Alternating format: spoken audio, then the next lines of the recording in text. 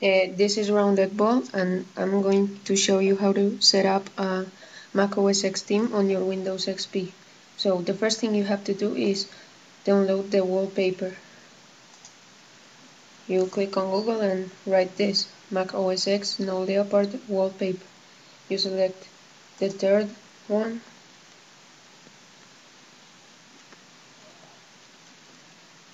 You open it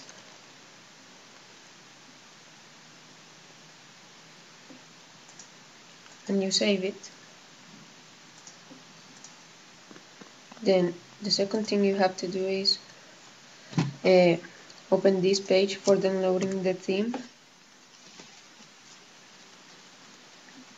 Okay. It downloads it.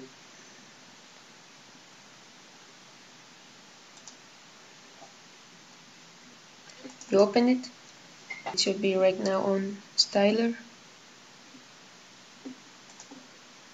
Well not it's right now because I already installed it but you should go to WinRAR extract to Teams. Okay. Yes to all because I already installed it so that's why it asked me.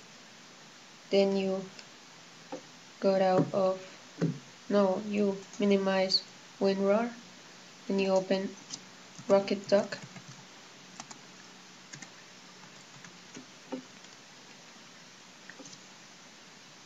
Then you download it click on download and click here download RocketDock.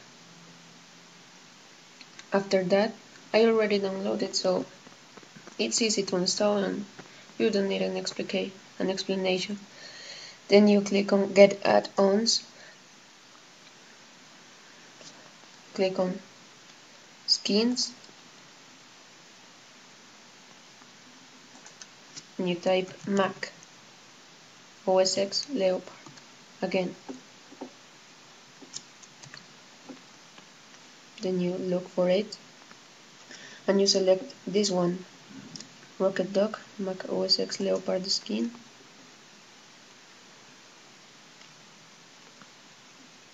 And then you click on download file.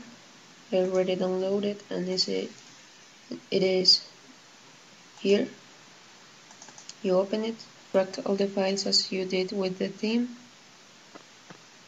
So now you you have rocket dock. That is here. You click on open. And look this is rocket dock.